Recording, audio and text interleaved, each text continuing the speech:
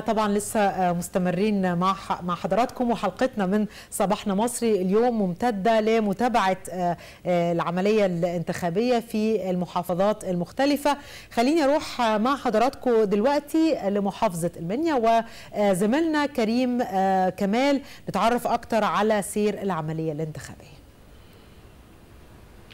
نعم زميلتي أدا بعد التحية والسادة المشاهدين في كل مكان. برنامجنا صباحنا مصري. الوضع هنا في محافظة المنيا في المرحلة الأولى من إعادة الانتخابات ماراثون مجلس النواب عام 2020 بنتحدث عن أن كافة اللجان الانتخابية هنا في محافظة المنيا افتتحت في تمام الساعة التاسعة من صباح اليوم. عملية إقبال المواطنين على اللجان المختلفة ما زالت نستطيع أن نرصدها بأنها بالنسبية مقارنة بساعات الصباح الأولى خاصة وأن انشغال المواطنين في أعمالهم حتى الانتهاء منها في الثالثة من عصر اليوم. نتحدث عن أن دوائر المحافظة ست دوائر كافة الدوائر بها إعادة على المقاعد النظام الفردي. خاصة المركز السادس وهو مركز مدينة درمواس والذي كان مؤجل بعملية الاقتراع على النظام الفردي في المرحلة الأولى خاصة وأن الهيئة الوطنية للانتخابات قد قبلت أوراق أحد المرشحين ومن في خلال هذا الأمر تم تأجيل الانتخاب الانتخابات على النظام الفردي في المرحلة الأولى إلى الإعادة. وبهكذا كافة الدوائر الستة هنا في المحافظة. بها إعادة على النظام الفردي. بنتحدث أيضا عن أن تستمر عملية وعي المواطن المنياوي بأهمية النزول والمشاركة في هذا العرس الديمقراطي خاصة وأن تحقيق أحلام المواطنين أو تحقيق أحلام المواطن بشكل عام بيتوقف على عدد من النقاط. أهمها الذي يمثله من عضو مجلس النواب من توصيل صوته وتوصيل أحلامه وتوصيل توصيل أيضا آراءه إلى الحكومة. بنتحدث عن أن هناك العديد من النقاط في هذا الأمر خاصة وأن تأتي هذه الانتخابات في ظل جائحة كورونا. وفي كل هذه الأمور في هناك وعي من المواطن بأهمية اتخاذ كافة الإجراءات الاحترازية أثناء دخولهم إلى اللجان الانتخابية. لكن أعزائي المشاهدين دعوني نتعرف عن الوضع بشكل خاص هنا في محافظة المنيا من خلال عملية إقبال السادة المواطنين على على اللجان الانتخابية ومعي على هواء مباشرة الدكتورة منال أبو سمرة مقرر المجلس القومي للمرأة بمحافظة المنيا. أهلا بك يا دكتوره أهلا بحضرتك. دكتورة يعني عايز اعرف من حضرتك المرأة المنيوية المرأة الصعيديه بشكل عام مشاركتها في كافة الاستحقاقات الدستورية التي سبقت يعني كانت بالشكل الملحوظ اللي رأيناها المرأة العمود الفقري للأسرة المصرية فمشاركتها في هذا الاستحقاق الدستوري هو أمر واجب. عايز أعرف من حضرتك في البداية تعاملتم إزاي مع هذا الامر من خلال المرحلة الاولى وقبيل المرحلة الاولى الاستحقاق الدستوري الهام مجلس الشورى. وأيضا نحن الان في اليوم الأول من مرحلة الاعاده يعني حدثينا عن اهم النقاط اللي استعدتوها من خلال هذه الامر وهذه الانتخابات.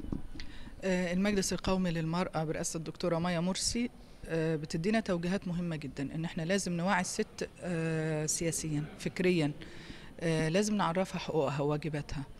في استحقاقات دستورية منحتها ميزة إن أنت لازم تنزلي ولازم تشاركي ولازم تأدي دورك. دورنا إحنا كمجلس قومي للمرأة إن إحنا نعرفها إن الست أنت مش كم مهمل أنت شيء مهم جدا في الأسرة أنت عمود الأسرة. مش مسؤولة عن نفسك بس مسؤولة عن نفسك وعن أولادك وعن أسرتك. وبالتبعية تبقي مسؤولة عن المجتمع وعن بلدك وعن عيلتك الكبيرة. آه بنبتدي الأول حراك فكري. لأن دايما أي حاجة عشان تنفذها لازم محتاجين فكريا إن آه نحرك المياه الراكدة نشغل مخ الست. نعرفها إيه إيه أهميتك في الدنيا؟ أنت ليكي دور مهم أنت ما انتش كم مهمل فبقينا ننزل نعمل ندوات توعية ثقافية للسيدات. في القرى في النجوع. آه عملنا ندوات آه تثقيف سياسي وفكري في كذا مكان. عملنا مع الشباب والرياضة عملنا مع الطرق والنقل عملنا في الأزهر. عملنا مع مكتبة مصر عملنا في الجامعة تعاملنا مع الناس في القرى وفي النجوع. المجلس القومي في محافظة المنيا عندنا 406 رائدة عندنا عدد من الأعضاء حوالي 14 أو 16 عضو في آه، كل مركز فيه رائدات وفيه أعضاء بننظم ندوات للتثقيف الفكري إن لازم الست تفهم أهميتها إيه. وإن في حاجة كويسة فعلا في ال- الأيام دي إن الست آه، سيادة الرئيس مديها اهتمام فعلي مديها مكان مديها آه، مقاعد في البرلمان مقاعد في الشيوخ. ليه أنت تسيبي كل ده؟ لا المفروض إن أنت تاخدي حقك. طالما إحنا بنديهولك اتفضلي انزلي شاركي صوتي ورينا هتعملي إيه. وده دور مهم جدا. آه، عملنا كده في الشيوخ وعملنا كده في انتخابات البرلمان في المرحلة الأولى وحاليا في في الإعادة. في الشيوخ ما كانش في إعادة خالص الحمد لله في المنيا كله. آه، آه، في الأيام الانتخابات بيبقى في تواصل عن طريق لنا أعضاء بيبقوا متواجدين في الغرفة غرفة العمليات المركزية اللي في المحافظة في السنتر. بيبقى عندنا تواجد للأعضاء في غرفة الفرع وباقي الأعضاء والرائدات منتشرين على مستوى المحافظة في جميع المراكز بيوصلوا لنا الصور بيوصلوا لنا الأخبار بيوصلوا لنا إذا كان في مشاكل واجهتهم. خط الشكاوى مفتوح محامي الفرع متواجد أي مشكلة بن تواجهنا بنبلغ بها القاهرة برضو المركز الرئيسي في القاهرة للمجلس القومي بنحاول نذلل الصعاب لا الدنيا كويسة وأنا شايفة إن في حراك سياسي كويس. دكتورة منال يعني المعروف عن آه، آه، التصويت هنا في محافظة المنيا يتسم بعض الشيء بالقبلية والمعروف أيضا أن آه، آه، كافة الندوات أو كافة التوجهات اللي بتقوم بها ال- المجلس القومي للمرأة لا يستهدف المرأة فقط لكن يستهدف كافة الفئات ويستهدف كافة فئات الشعب. خلال هذا الأمر تعاملتم معاه إزاي؟ عملية التصويت القبلي والعصبيات في هذا الأمر. هو الملاحظ فعلا إن لما بيبقى في حد نازل لتبع بلد أو تبع قبيلة أو عيلة إحنا جذورنا الصعيدية ولازم ب- بتطغى شوية. آه لو ليك حد قريبك بتنزل تصوت مالكش حد ما بتنزلش. ده دورنا برضو إن إحنا نغير الفكر ده. لازم الفكرة كل ده يتغير لأن أنت مش نازلة عشان قريبك أنت نازلة عشان البلد. انت نازله عشان روحك وعشان مستقبل ولادك بكرة وبعده. عايزين نشيل حتة القابلية دي من التفكير إن إحنا لازم ننزل نأدي دورنا ايا كان المرشح. ابحثي search عنه دوري. يعني في ناس تقول لك أنا ما أعرفش المرشح الفلاني. okay ده defect منه ومنك. ماشي هو عمل لقاءات نزل على الفيس عمل تجمعات وقال ودعاية. طب أنا عملت إيه؟ لا اقعدي ودوري واعرفي اسم المرشح اللي هتنتخبيه المرشح اللي نازل في الدايرة. إيه مؤهلاته إيه أعماله آه، إيه فكره؟ هيقدر يفيدك هيقدر يفيد البلد. إيه البرنامج الانتخابي بتاعه؟ عشان بكرة وبعده نقدر لا في وعي دلوقتي إن يقدر يقول لك لا ال- العضو ده ما جالناش النايب ده إحنا ما شفناهوش النايب ده ما بيوصلش صوتنا للقيادات. فده دور فعلا أعضاء مجلسي الشيوخ والبرلمان انهم يوصلوا الصوت بمطالب البلاد خصوصا الصعيد. الصعيد من المناطق اللي شوية يعني بعيدة عن القاهرة. في خدمات كتير ناقصانا. نتمنى طبعا إن ال ال القيادة السياسية تبص للصعيد شوية بعين الاعتبار. يعني من خلال هذا الأمر دكتورة يعني آه، محافظة المنيا بشكل خاص آه، شهدت العديد من المشروعات التنموية والمشروعات القومية من خلال أربع سنين مضت. بنتحدث عن آه، لو قمنا بتقسيم المشروعات فعلى مجال آه، آه، آه، إعادة تأهيل كورنيش النيل محور صمالوط الغربي الذي يربط الشرق بالغرب آه، بالإضافة إلى تجديد مستشفى المنيا الجامعي افتتاح مستشفى المنيا آه، الصدر في مدينة المنيا الجديدة بالإضافة إلى اسكان الشباب الاجتماعي وغيرها. كل هذه بالفعل يعني من خلال هذا الأمر توصيل هذه المشروعات وتوصيل ما هو قادم آه، مشروع آه، افتتاح أكبر مصنع آه، للسكر في غرب ملاوي. يعني كل هذه المشروعات توصيلها للمواطن والنتائج الإيجابية اللي هتعود على المواطن المنياوي. شباب وفتيات توفير فرص عمل كل هذه النقاط دوركم اتعاملتوا معاها إزاي؟ دورنا الإعلان عنها لأن في ناس كتير ما بتعرفش. يعني إحنا امبارح كنا حاضرين احتفالية مع سيادة المحافظ اللي هو أسامة القاضي وسيادة النايب دكتور محمد محمود أبو زيد في القوات المسلحة بدعوة من ال- اللي هو أسامة فياض والعميد تامر افتتاح مصنع جويل في القوات المسلحة.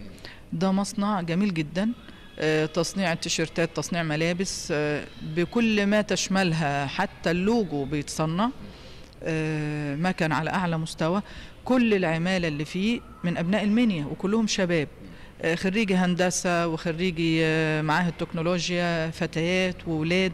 لا كان حاجة كويسة وحاجة جميلة. فطبعا الواحد لما بيشوف حاجة زي كده المفروض إن إحنا بنعلن عنها وبنوصل الصوت. وده دور المجلس القومي للمرأة. إحنا بنشارك في المشاريع التنموية اللي تخص المحافظة ككل.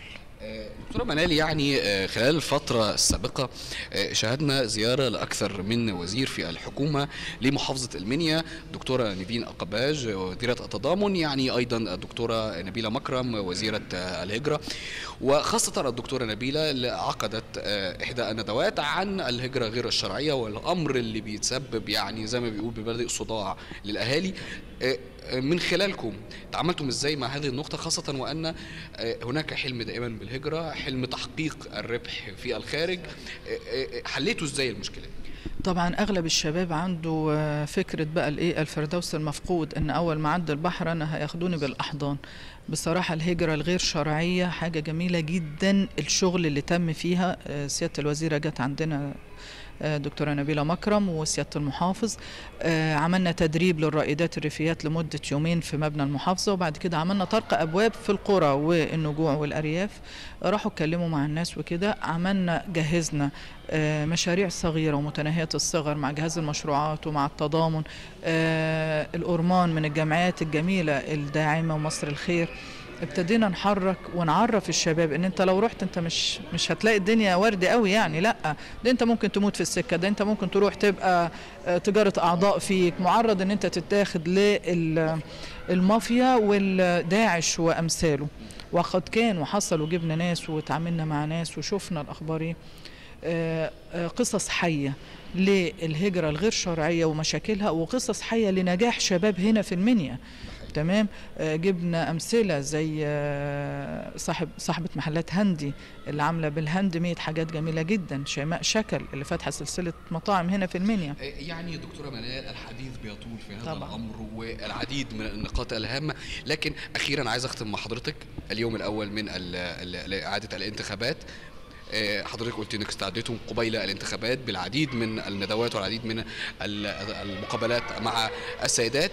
النهارده اليوم الأول إيه اللي هيحصل فيه؟ أكيد طبعا في غرفة عمليات منعقدة بشكل دائم. آه، آه، سريعا آه، إيه اللي ناويين تعملوه النهارده وبكرة؟ المتابعة المستمرة المتابعة المستمرة وحث السيدات على النزول يعني الأعضاء والرائدات الريفيات بيحثوا السيدات على النزول.